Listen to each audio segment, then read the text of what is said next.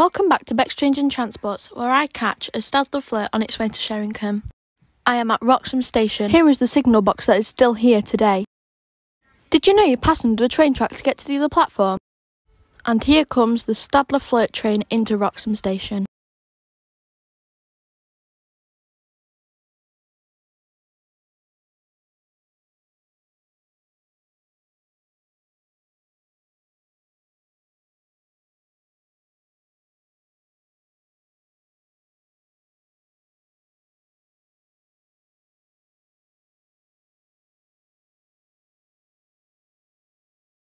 And so, after waiting a couple seconds, it departed after loading its passengers.